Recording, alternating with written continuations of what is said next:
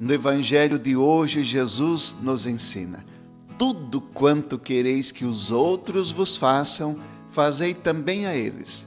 Essa é a síntese da Bíblia, da lei e dos profetas, e é o que Deus espera de nós cristãos. Fazer o bem sempre. Como viver esse evangelho no dia de hoje?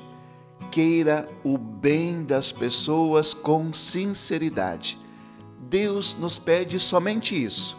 Se eu não quero que falem mal de mim, se eu não quero que façam fofocas de mim, também não devo fazer isso para o meu próximo. Disponha-se a partir desse momento a fazer o bem a todas as pessoas que você encontrar no dia de hoje.